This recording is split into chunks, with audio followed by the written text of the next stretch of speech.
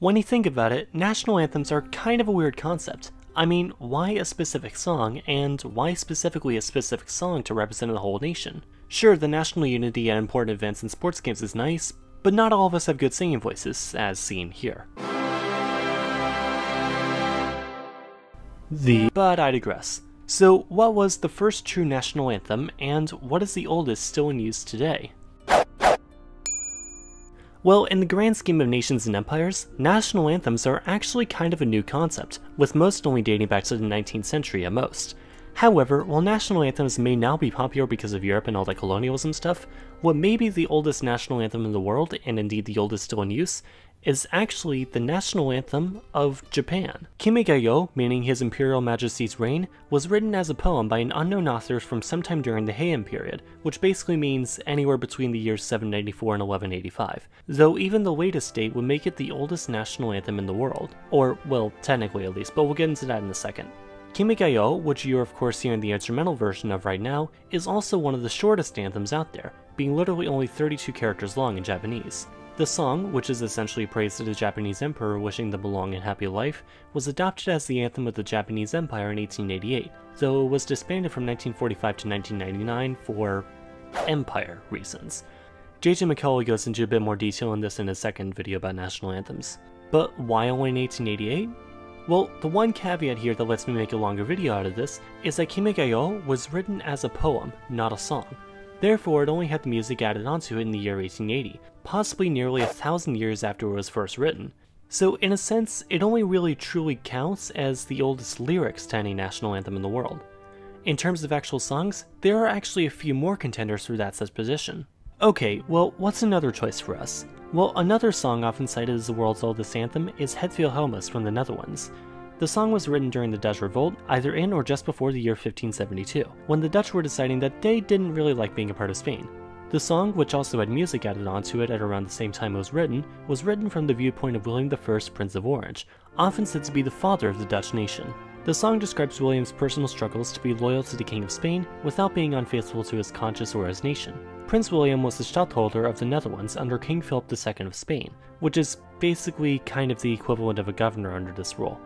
However, there's another caveat coming, which is that Het Wilhelmus, although dating back to the 16th century and having always been popular among the Dutch, was not made the official national anthem of the Netherlands until 1932.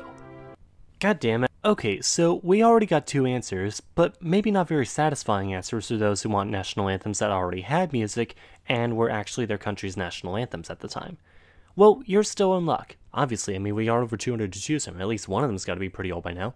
Well, another national anthem that has a pretty good claim to fame in this regard is God Save the Queen, slash, King, which was adopted by the United Kingdom to be its national anthem in the year 1745, long after Kimigayo and Wilhelmus were written, but still a good deal before they were officially adopted, if you want to jump into that though. I also talked more about the song in a previous video which you should like totes check out. It isn't quite known when it was actually written, but it first appeared in a songbook from 1744 and subsequently became quite popular in Britain, its original lyrics, however, didn't just honor the King of England, but specifically King George II, the then ruling monarch of Britain, also known by Brits as the guy before the crazy guy, and by us Americans as the guy before the crazy guy we won a war against. One little known fact about the anthem is that there was actually a Republican version of the anthem written in 1794 by American and Frenchman Joel Barlow, which actually honored the liberating power of the guillotine. Yes, nothing more liberating than finally being relieved of that pesky annoying head of yours or the monarchy. Obviously this wasn't the most important thing I could have told you just now, just a funny side note that I just learned writing the script. However, we haven't even considered historical anthems yet, of which there is yet another contender. The old Polish hymn, oh for... the hymn Bogorod... Bog, Burgerotica was composed sometime between the 10th and the 13th centuries, and was actually signed by Polish knights before the Battle of Glenfalds in 1410. However, since national anthems weren't exactly much of a thing yet, the song was kind of more of a patriotic hymn that was closely associated with Poland. Bogurodzica was actually considered as the candidate for the national anthem of the New Poland, created in 1918 out of the ashes of the Russian and German empires, though it was far from the only choice, with the anthem status eventually going to the current anthem, Mazurek Dąbrowskiego. So, what is the oldest national anthem in the world? Well, it's not all that clear if there even is a single winner, so it really depends on what category you want. Kimigayo by lyrics, Het Wilhelmus by actual songs, God Save the Queen or King by actually being the official anthem, or the Star Spangled Banner by anthems of the United States named the Star Spangled Banner.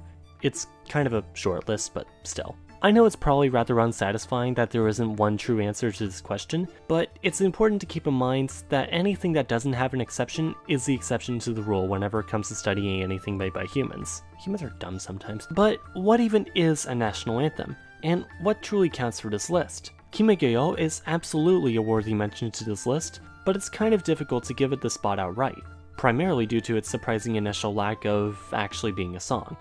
So, which song truly counts? Be sure to argue about it in the comments below, honestly though, you probably already have.